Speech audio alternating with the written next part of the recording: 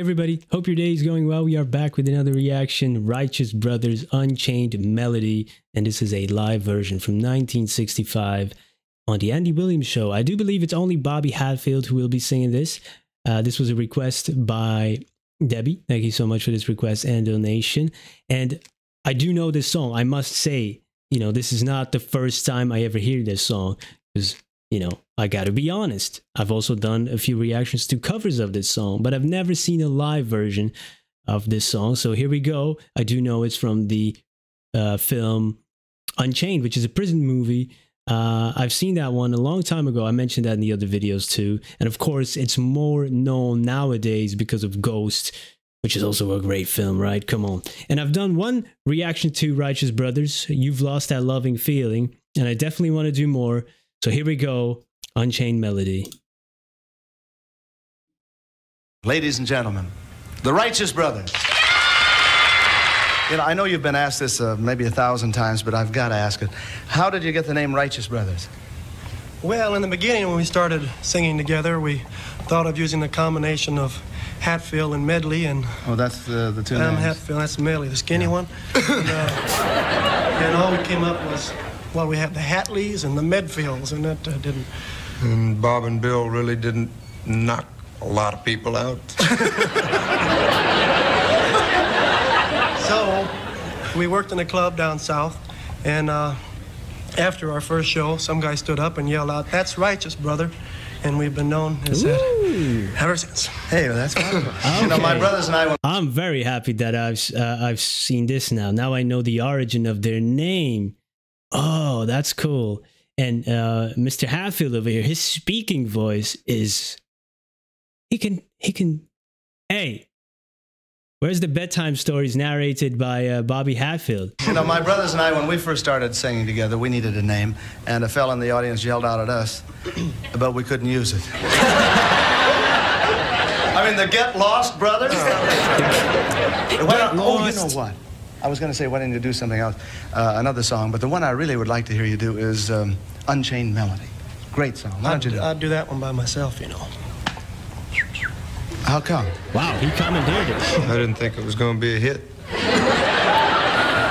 Oh, What do you usually do when he's singing? Find a little corner and uh, kick myself a lot. Come on, I'll show you the corner I use whenever I hear Tony Bennett sing San Francisco. Yeah, these guys are hilarious, man. That is so cool that I've I've gotten a little bit of a, a mini history lesson here. So one of them actually never thought this was be was going to be a hit, and now he's getting a timeout. that's so that's so good. Wow, and look at this, man. We are still listening to this song today, and this is one for the books. This is a iconic song. Let's listen to it. Oh, come on.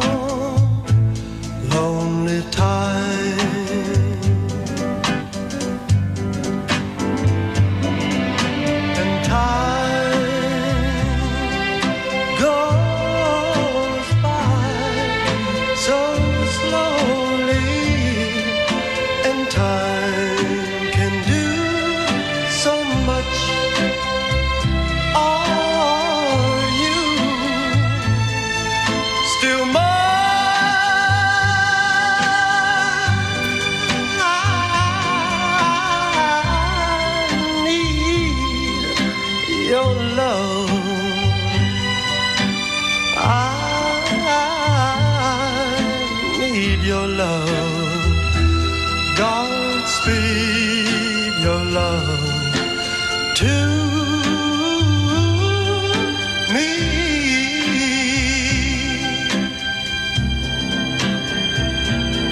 This has got to be one of the most iconic songs of all time. There's so many iconic songs, but come on. Give it up for Unchained Melody. You know, if you take it to the prison film, you know, and I've probably mentioned that in uh, the other videos, but then, you know, time goes by so slowly. You hunger for somebody's touch, you know. Oh my God. And his voice is just, wow. Like I said about his speaking voice, but then he takes that into singing and it becomes, it's so smooth, buttery, warm. It's like a comforting blanket, but then he goes into a more powerful uh, note there, like, okay, I can do this too. Uh, and it seems to come so easy, you know, or they make it look easy, but wow, it's, it's amazing. Amazing. This is this is stuff of legends right there.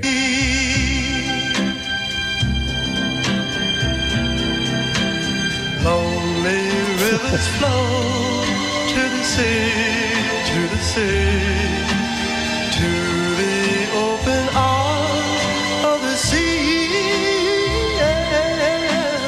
Lonely riverside, wait for me, wait for me. I'll be coming home,